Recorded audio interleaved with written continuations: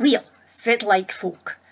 My name is Fiona Jane Brown, and I'm currently the Secretary of the Scots Leid Associe, but I also have my own business running walking tours in Aberdeen, called Hidden Aberdeen Tours. I'm also often interested in local history, and that's what's led me to actually use Scots in presenting some of the stories in my tours. And I decided to get in better by hearing folk actually dramatise as, well, rather uh, suspicious characters that you meet in Aberdeen's history. Now, some of the favourite things that I have done are about true crime. And the most interesting ones are either Alistain's. And the next, you're going to see stories out of the sketches that I have written. And you'll notice that uh, the characters speak in Doric, my dialect of Aberdeenshire. Certainly Scots that uh, AMA actors feel that they can understand because I just screeve it as I speak it. So, enjoy. Aberdeen's record in executioners is pretty well documented. For Robbie Welsh, fa was the last of the executioners that hanged folk up on the gallows hill. Now, that's beside for is new. If you're familiar with Aberdeen, you'll ken that uh, the Trinity Kirkyard has its gate at Errol Street. Now, the wee hilly next to that, of course, was kent as the Miser's Hilly because that's what Don's fans used to stand atop to look into the grun before they built the flats and you knew kind of see in. That was our gallows site. But afore that, for about, well, maybe for the earliest times when Aberdeen was funnet, the hanging site was actually at the head o' the Gallow Gate, which is how it gets its name, same way in Glasgow, the road to the gallows. But it was moved around 1500 to the site there. Now, it's near there that Johnny Milne actually carried out his last execution. It was actually in front of the Tolbooth in the Castle Gate in Aberdeen. Tolbooth still stands to this day. It's got the modern frontage on it, but the building in it is the 1615 Tolbooth, and there's a museum there now. But in front of that, in 1810, our Johnny Milne, he carried out his first execution. But, as you'll find out, it was almost his last. Aberdeen, ye mon, respect, mon, of the way, and the civic executioner. Ah. And I carry out my solemn duties with the dignity that comes with a civic official. That's nae what I heard the day you hanged Andrew Hossack. You weren't exactly treated with respect that day, were you? Oh, no, I wasn't. I got more respect for Hossack himself. He even called me sir. Could you, sir? Aye, did. Aye, but Sir Milne was not so bright he managed to escape the law. Tell him how you got caught in the first place. hey, hey, shh. Must a man's past sins be, be, be cast up against him like that? And by such a, a, a contumacious besom like yourself? He was caught robbing a farm at Corse of beehives. Come on, Johnny. Did you never find something easier to steal? These stink when they're angry, don't they? Aye, the bloody div. Nay, half. But you ken, honey's money. Oh, aye, so it is. And ken that damned farmer? He never give me nought, so I just helped myself. Oh, really? Uh-huh. Only why? No, I didn't get any respect that day. Nay, from you rabble. Aye, from the tune's executioner after that. Only because nobody else would do it. The last executioner, Jock Milne, had lain in his grave for a year before the council found somebody daft enough to agree to take it on. And that was you, Johnny Milne of Tully Skookie. What's the matter? Did you nail like the idea of going to the colonies? I'll have you know that the job of the civic executioner is a very, very important one. No, When they went to King to Australia, I was our feared I'd never come back alive. That's more than bees sting you out there, you can. Oh, aye, aye. anyway, back to my story. Now, that Hossack, well, he went to his death like a soldier. He was silent as the grave, he was. And as I watched him doing the Tyburn jig, oh, that's when your, your legs jerk about and you're getting throttled at the end of the rope. I spied some of the field gapes over there trying to steal my kirt. Real Quiney Chrissy, she tried to stop him, but the very magistrates themselves, they pulled her away, leaving the field nuffs alone. And they, your esteemed citizens, you can bet you did. You went and unhitched my pony, and the poor beastie ran away into the crowd. Ah, oh, dearie me. So what did you, as a civic official, do then? I was furious. I told him, Ye man, repent of the indignities that you have offered up to me and my daughter. They just laughed, and then they shouted out to me, we ken you, Johnny Milne. You're nothing but a wee crook yourself. Now, I want to take that corpse up to the anatomists. Well, I resigned on the spot. Disrespect.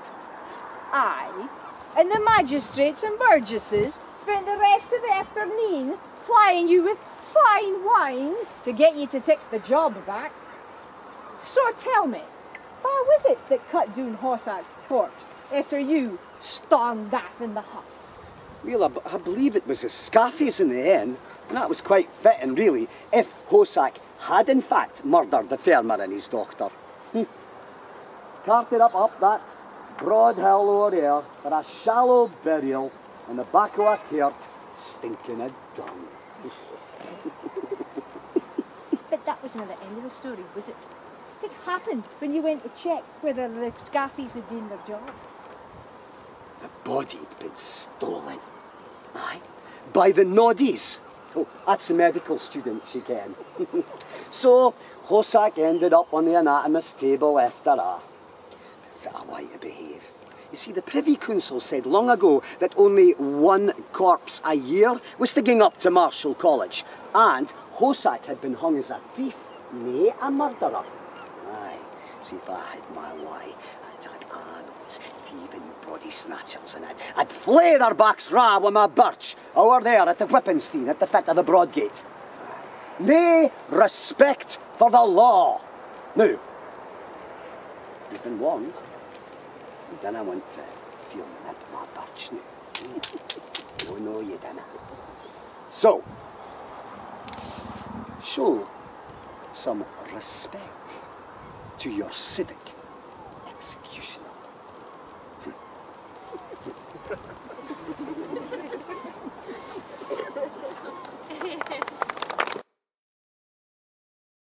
King's College Aberdeen, founded in 1495 by Bishop William Elphinstone, was granted a chair of medicine in 1498 by James IV, the first ever in any Scottish varsity, and the king was a grand friend of the bishop. Marischal College, which was King's great Protestant enemy, was founded nearly a century later by James's descendant, James VI. But it didna get a medical faculty or 1700. To train loons to be surgeons, they not bodies to dissect, but they got for the hanging tree or for the poor's houses. However, there wasna that muckle ill deans that folk get hanged for in Scotland in the 18th century, only 20 folk were hanged in Aberdeen between 1800 and 1854. Saying the medical students were driven to bringe about the graveyards in the mirk and howk up the bodies of the newly dead. Sign a wee laugh surgeon or student in the cellar. They could get professional grave robbers, cried resurrectionists to do the howking on their behalf. Folk feared for their deed, and some feared that they might be buried alive, saying the deed weren't I for these nyaffs were expecting, as happened twa three hundred year ago in Aberdeenshire. Picture the scene. In Verury graveyard, in the deed ceilings of the night, twa would-be grave robbers hae creepit up to the grave o' een Mary Elphinstone, the floor o' the Garioch, fa'd only been married a month when she died. Her man, James Elphinstone, was the sorriest loon in the hale parish. Syne he laid her to rest in her wadding goon, and wi' her wadding and engagement rings on her finger. And that engagement ring had a solid, solitaire diamond. Syne these brigands kent they were gonna mak bonny siller on the body o' a young deemiki like her.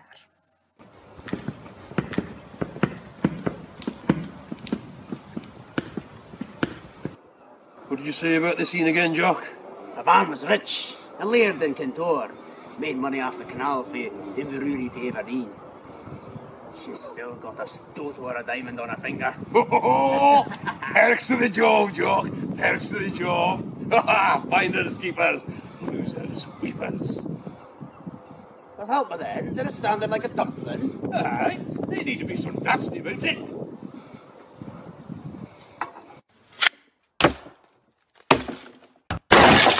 Ah, look, there's the mark it after we get her eat.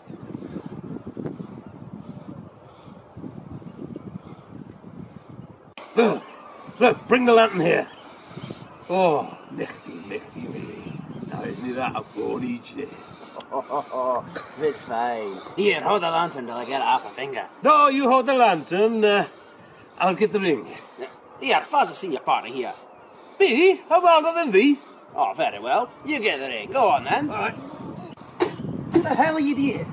It will not come off. I need some butter or something to make it slippy. Butter, are you wise? Where we gonna get butter in the middle of a graveyard? Here, hold the lantern, I'll sort it. Uh, what are you gonna do? Got her finger up. You can't do that. Oh no, she's dead. She's ain't gonna care about it. You really are a buckly text, Pixar. Hold the lantern or I see the cut. I wouldn't want to damage the ring. Where am I? It's so dark. So cold. James! James, where are you?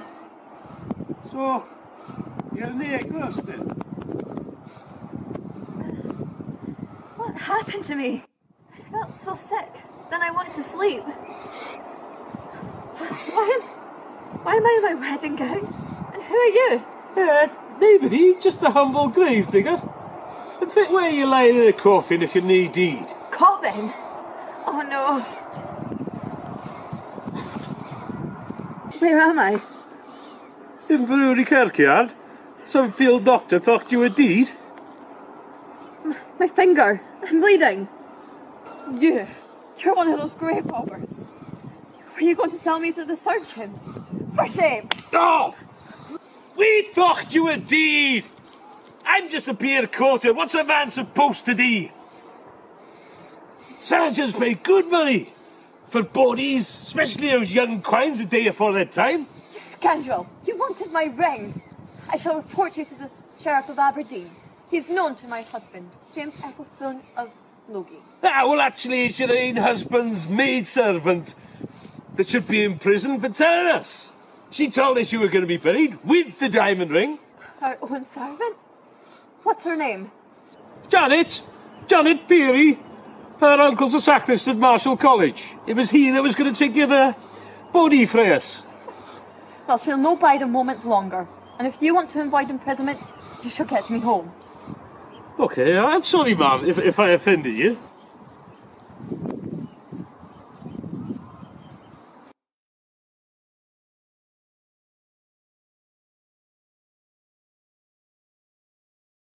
So there you have it, friends.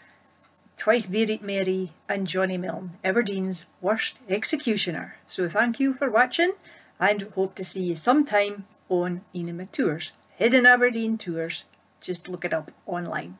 Thank you and good night. The Scots language, the mother tongue, is a great medium for translation. Starting with Gavin Douglas in the 16th century translating Virgil's Aeneid, we have a whole host of excellent poems from other languages, from a whole range of languages, from classical Latin and Greek and Old Irish right up to the present day, and from just about every language under the sun, you have excellent translations into Scots. So here's a few just for a sampling. In the 13th century in Italy, there was a very colourful character called Cecco Angiolieri, who was seemingly a thoroughgoing young scallywag, because this is what he says of himself. There are just three things in life that make me fain. Three things of whilk I'll never get in youth. It's lasses, house, and dice and them alone can set my lightsome heart to reel and duke. But seen'll can I gang and hae a rant, for Tim and lichts my purse. A whiles mon Lee says nane sal kent and lichtly all I want. We fiend the sinner, fiend the ploys for me. And syne I say, deal program wi' a lance, my mully feather, sin he keeps me yop, and say I laugh a bid crow hame fi France. A sin you'd wide a while a bodle for his grup, though it were Yule when cadgers get their chance, I see an eagle dung doon by a whop. And Cecco Angiolieri and his father seem to have been on the very worst of terms, whether his dad was really as mean as Cecco makes out, or whether he just couldn't be bothered with his wayward son's behaviour. But this is another sonnet that Cecco wrote about his old man. The bitter blake ill will I bear for feyther, wi' muckle reason tae I'd hae ye true. Will gar him leave as lang's the vegan Jew as fine I ken, Methusalem gin ye drather. Oh, nater, what a wrang ye've done me here. The other day I speered him for some brandy. O it in his och, the ticht old randy. I'm telling you, he slachted me guy near. Suppose I'd speer for rare Chateau Lafite, I tasered just to gie him another fike. He sput right in my face. Well, thought did. And still folk says I shouldna hate the tyke. Look to his spite. You'll say whene'er you see it, just scrunch him up alive as soon's you like. Well, a lack of cash was something which seems to have troubled Cecco Angiolieri all his life. This is one of his poems lamenting his poverty. Do you think I'm sharpet? See, the licht of day comes glinting through my purse gin no my book. Wi' cravers bizzin round to pook and rook, I canna haud as muckle as a stray. I've tint whate'er ahead of graith and gear, little I hae to pie and less to hain. The skelf o' scabbit grun that's still my ain maks, when I'm lucky, two or three plaques the year but a' it needs is just a bonny hoor. And gin I had as muckle gowd as meal, I'd fling it a awa in half an hour. You think I dinna ken I'm just a feel? But aye, the mair I win wi' pine and stour, the mair I need to sparkle like the deal. And as to bonny hoors, part of his life he seems to have spent chasing a lady called Becchina. And this is what he says of his unfortunate love of the Kina. Gen ony day I dinna see my dearie, oh, nicht a walt and wammel like an eel, and oh, what herseer stangs and stoons I feel, while birling mang my bedclays like a peerie. And through the hunner thousand hours on nicht, I say, Please God, when will the daw come teethin'? And all my face is siping wat wi' greeting but naething sains my pine nor makes it licht. And ken ye what she gies me for my faring? Whene'er I traipse to toon, the jod to see, I bide her lang, she says, and she's no caring gin I should win back hame as sins can be. She's browding on some other prinket bairn, and likes him mair a thousand times nor me.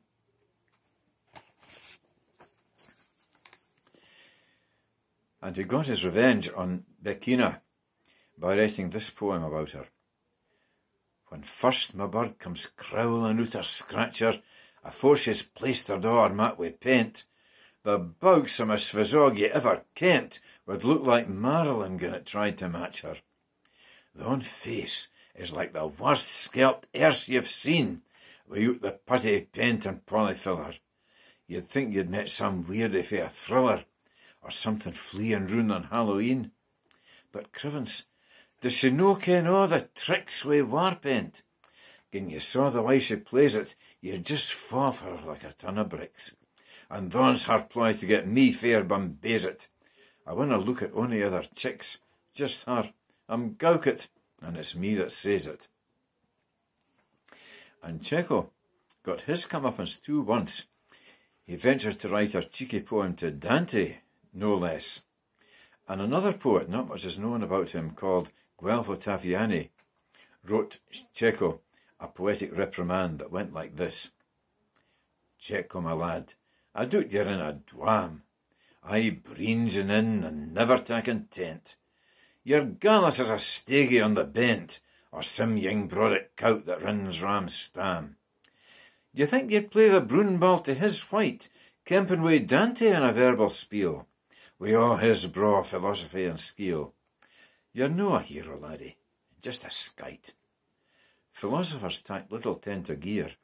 They ken it's bruckle, and the Retlands aye to strip their wit and bricht wi' leer, and Dante's wise. Lang syne he kent the way. Say, mind, my laddie, wha ye meant to steer. Wha loups the heekest, gangs the maist a gly.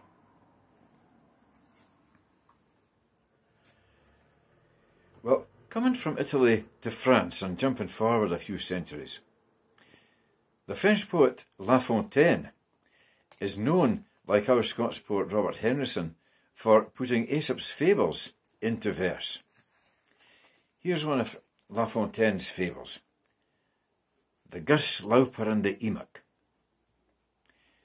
The hale summer lang the Gus Lauper sang, but the winter ones blaff, fun him guy in a laugh. Deal a midgin or moch on the heather or hoch. To the Emach, ye morning, his fear, he gaed sornin, and prigged him for mate. Just a peery wee hate to sustain him till four. What ye gie, I'll restore. Ilka bodle and plack by the hair still hae back. On my hecht I'll repay, and wi' interest eh? too. Nae Leonard this crater, a fought in his nater. To the sorner he says, Who passed ye the days when the sunshine was bricht? Weel, I sang day and nicht, can ye please, to folks cheer. That I'm recht glad to hear. Did ye sing? A broad chance. We'll awanu and dance. And another of La Fontaine's, The Corby and the Lowry. Sir Corby up a tree was sitting, a gusty kebbuck in his nib. Sir Lowry for the young got witten, and hailst him wi' a sleekit fib. Ay, Maister Corby, some greeting. My fegs, but you're a wheel fort loon. Your feathers blake like siller gleetin', maun be the best in a' the toon. Noo, gin your sang were half as bonny as the draw coat, I winna lee, though this green shaw had Beald's birdie's money, I bin them a' bear the gree. The glaikit bird was fair delirit. His loosome vice was a' his pride. Richt sin he'd let the Lowry hear it. His jaggy nib he aimant wide, and to the grund the kebbuck tumult. Sir Lowry hanched it in a glyph. Sir Corby, gunkit and germummelt, swore nae mair to be made a kiff. Said Lowry, Lad, I read ye fairly. What tents to fleechers, I gets chate. This lesson's worth a kebbuck surely, but for the bird it cam hour late.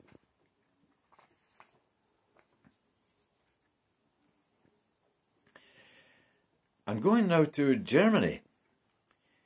A poet called Heinrich Heine, a 19th century poet, goes very well in Scots because, like a lot of Scottish poets, he wrote in verse forms and metres very much influenced by ballads and folk songs. Germany, in fact, just like Scotland, has a great tradition of ballads and folk songs, and many German poets wrote in the folk song tradition. Heinrich Heine a lot of his poems were translated expertly into Scots by Alexander Gray. A lot of Cecco Angiolieri's poems were translated expertly into Scots by George Campbell Hay, whom we'll come to in a few minutes. Well, here's a couple of poems by Heinrich Heine. This one's called Thon Lassie Luck. Thon Lassie Luck's a lichtsome jod. She never bides in ye place lang. She'll straight your hair abin your brew and kiss ye ince, and off she'll gang. Thon wifey wan luck, snow the same. Close to her heart she'll hide ye dear. She's no in haste. Aside your bed she settles doon wi' woo and weir. Another ballad like one called A Lassie, uh, sorry, A Laddie Looed a Lassie. A laddie looed a lassie, for looed another mare. The other looed another, and thon twa made a pair. And teen the lassie merit the first braw chiel that cam stravaigin doon the cossie. The laddie grat wi' gram. Ay, it's an old, old story, but new as this day's daw. And ilka chiel that comes till, it bracks his heart in twa.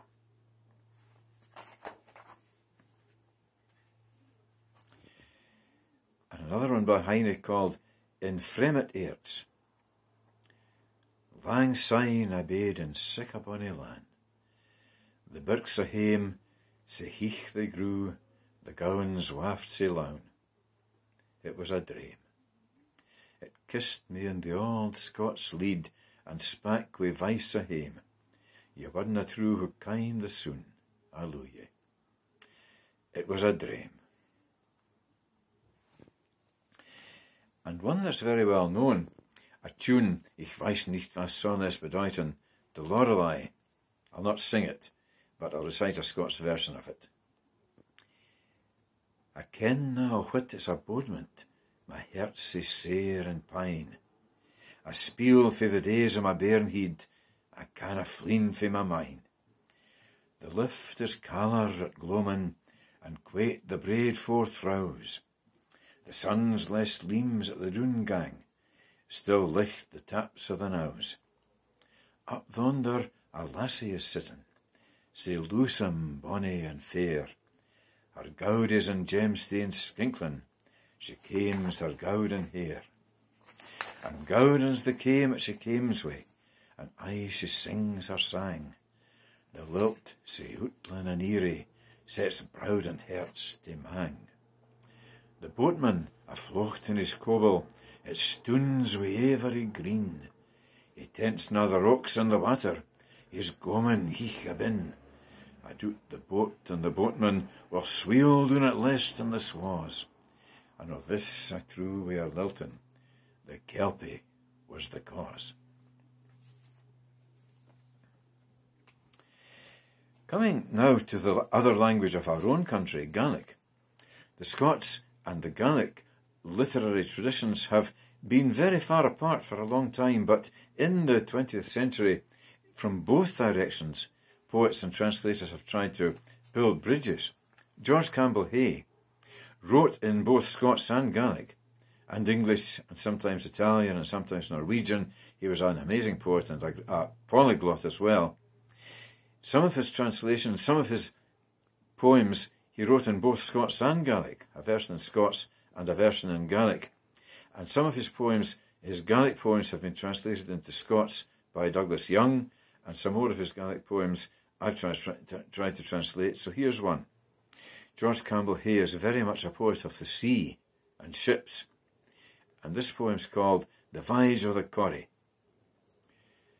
Forth we wan on the lake green foons, linked by Garval, Grumley and Gousterus, out the Sue was cam rochs crows laupen, to call swas heeds, her heeds she heisted. Our spurlig black lass that rins wi a reenish, she raised up her sang, and Ramstam skeltered.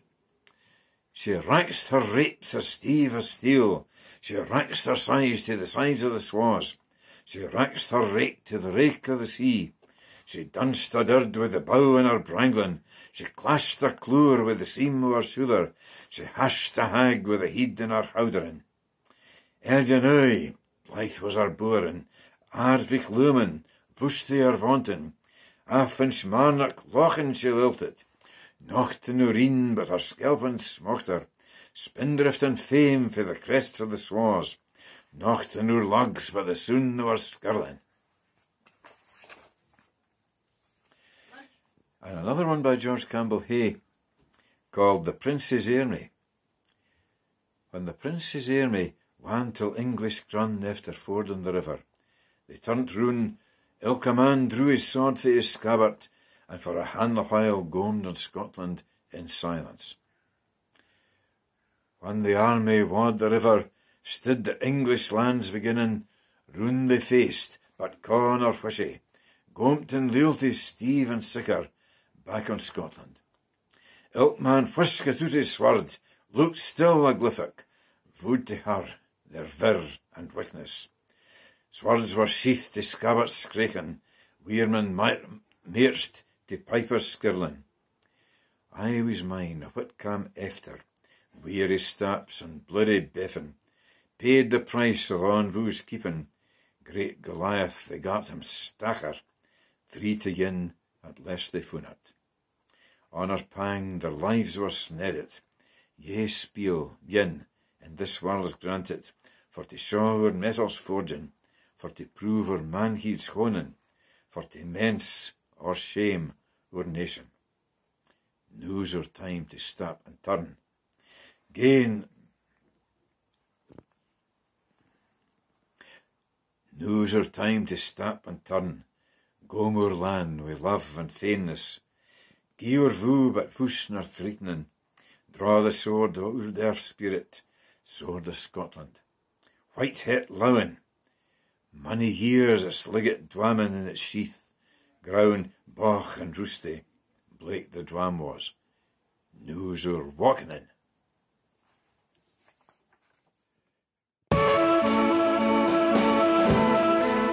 Wee Podcast is a cheery mixter maxter of stories, sayings, and nonsense, mostly in the Scots tongue. You'll hear tales of friendly speeders, There's an awfully big speeder living in my shed. With nine muckle een and eight bursy legs. Twee snashy fangs for chowing up fleas and eight bursy pooks on his eight bursy knees. frichtsome witches, I heard she cursed old Jock McCurk for saying her potions didn't work. He knelt on toy bricks left on the flare, even though he doesn't hae wains on him. Oorie pirates. Now then, my lad.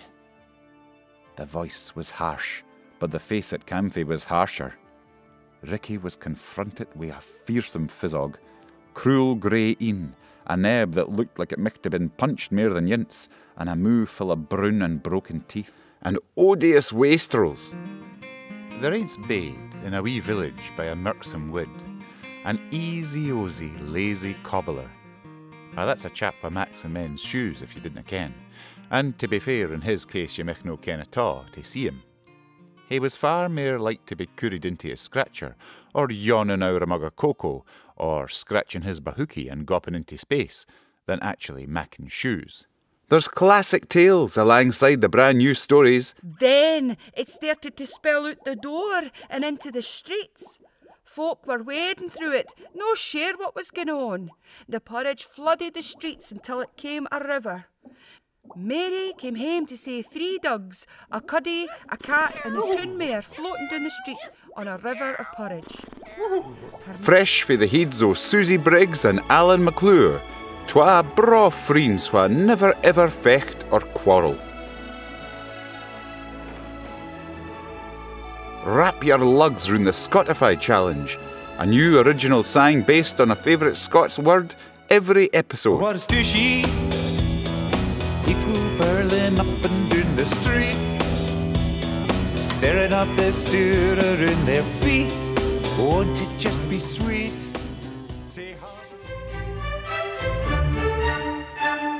Look it, just look at the state of your clays. I bet you're sorry. Oh, Come on, Dougal, yourself a shugle. Spin away your worries with force of centrifugal.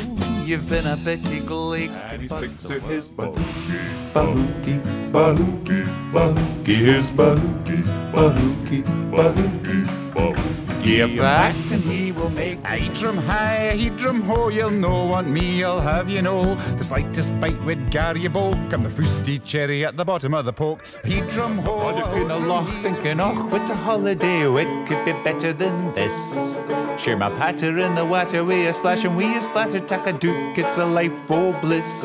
Gaze a P U D D O C K, I'm a puddock, I'm a puddock whale. We make these podcasts ourselves, just for your entertainment, and we fair hope you all enjoy them. Follow the link or scan the QR code for the hail of Season 1, completely free. Season 2 is on the way, and we've already been nominated for a Scots Language Award, would you believe? We hope you'll join us, folks. It's rare fun for the Hale family.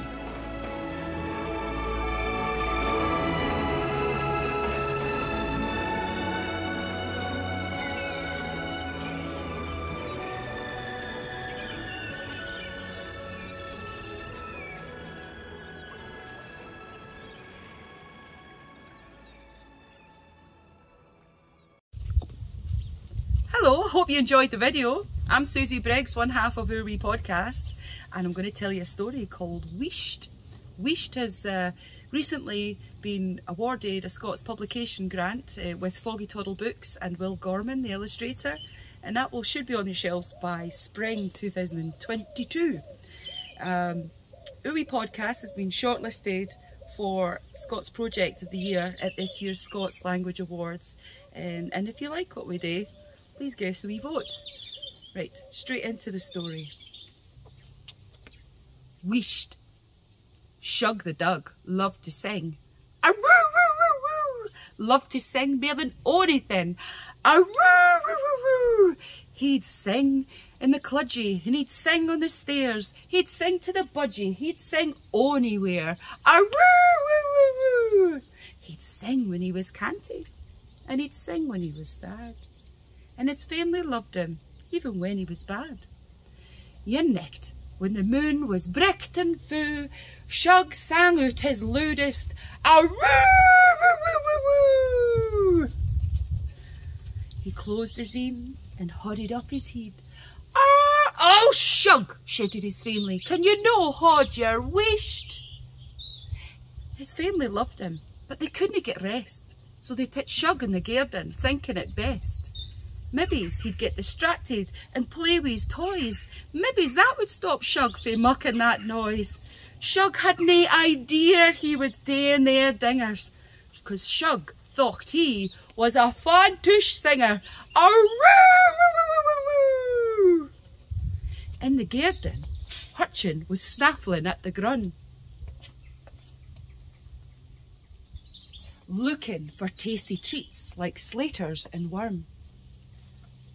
Shug says to Hurchin, I'll be helped to hard my wished, but I've no gotchin. Hurchin shrugs and says, Well, I've only got a snuffler and jaggies on my skin. Up in the air, Hullet was fleeing by. Ooh, woo, woot. There's a wise bird, thought Shug. She'll tell me I'm share. Shug says to Hullet, I'll be telt to hold my wish, but I've no gotchin. Hullet thinks and says, I've only got a twit twoo and bonny feathers on my skin. Toot twoo, toot twoo. Shug sighs to himself, and then he finds Puddock in a puddle. Ribbit, ribbit. She was enjoying a mouthie of midges and enjoying a girdle. Shug says to Puddock, I'll be telt to hold my wished, but I've no gotchin. Puddock gulps and says, Oh, I've only got a rabbit and shiny green skin. Ribbit, ribbit. Oh, Shug sighs and smiles. The moon was fu and bricht. Shug held up his head and sang a woo woo woo woo into the net. A bedroom window flew open and the next door's house, and the old wifey that stayed there shouted, Shug, will you shush? Hi, folks. I'm Alan McClure. I'm the other half of Wee Podcast alongside my pal Susie that you've just seen. The podcast was a project that we started in lockdown to keep our hands in with storytelling and songs and things when we couldn't go out and see a live audience. And we came up with the notion of putting together a half hour episode of stories and sayings and poems and nonsense, mostly in Scots, as a kind of a new resource for youngsters who are learning the language or learning that they're allowed to use the language that they already can. So my favourite part of every episode is when Susie challenges me to write a new song around a particular Scots word. We've called this the Scotify Challenge, with apologies to Iona Fyfe and all the hard work she did getting Scots recognised by Spotify. But uh, I really enjoy coming up with a new song every single month. And I'm going to sing you two of those now just for your amusement. It's not terribly highbrow, I'm afraid, but I hope you'll not mind. And the first one was a song uh, based around a word that was voted for by our public on our Facebook group, Urbi Podcast Facebook group and they seem a very sensible bunch because the word they wanted a song about was the word Bahookie.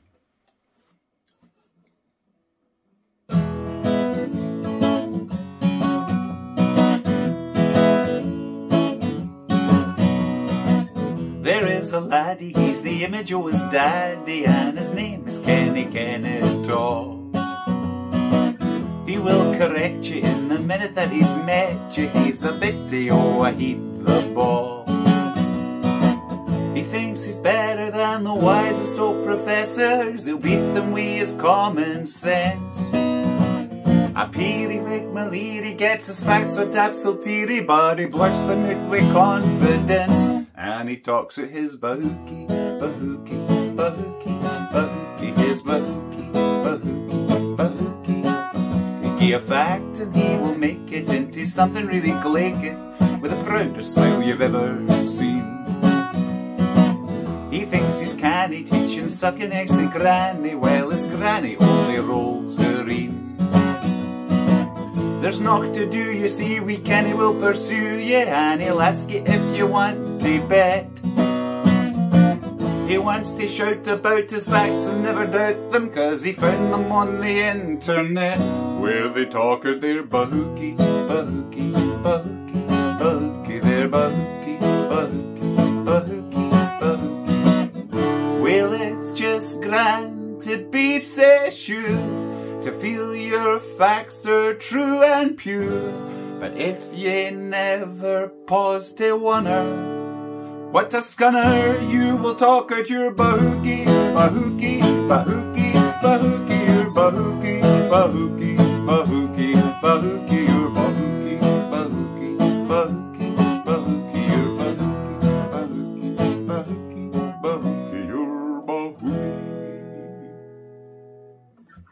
Sincere apologies if that becomes an earworm for you. The second song I'm going to sing you is a similarly serious piece of work, and this was for the word fusti.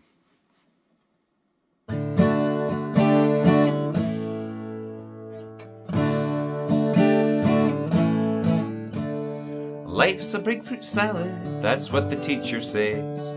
Each of us contribute in a dozen different ways. Some of us are sweeter and some of us are sour. But there's a place for Abadea that you may be sure. Now, Jeannie, says the teacher, I'd say that she's a peach. She's kind and warm and fuzzy, and a pleasure for to teach. Barry is bananas, I think we'd all agree. There's Janet Pomegranate, and that's when she looks at me. Now, Sonny, says the teacher, dinna sit and roll your in. I'm sure you are the sweetest fruit that we have ever seen. A he drum high, a he drum ho, you'll know what me, I'll have you know. The slightest bite would gar you boke, and the fusty cherry at the bottom of the poke. A he drum high, a ho drum he, there's nae room in your bowl for me. The whole idea gangs up in smoke with the fusty cherry at the bottom of the poke. Hey!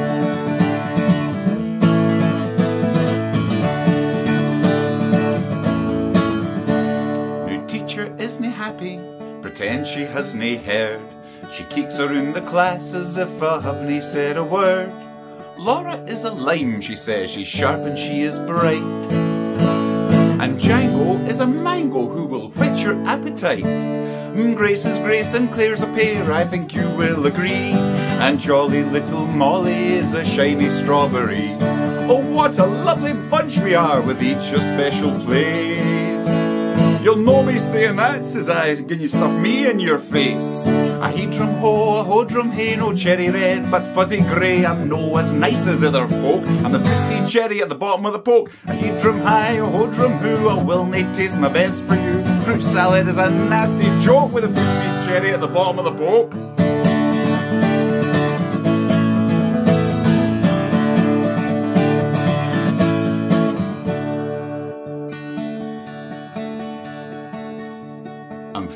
Half a clever, her stories she can keep. I've thrown a spanner in her works, her gas is at a peep. But teacher, she's still smiling, she stands and sings to me.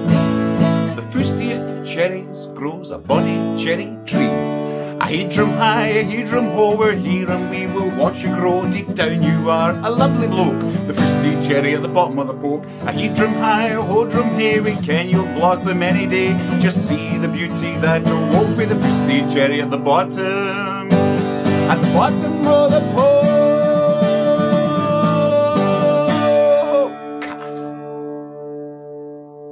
Thanks, folks.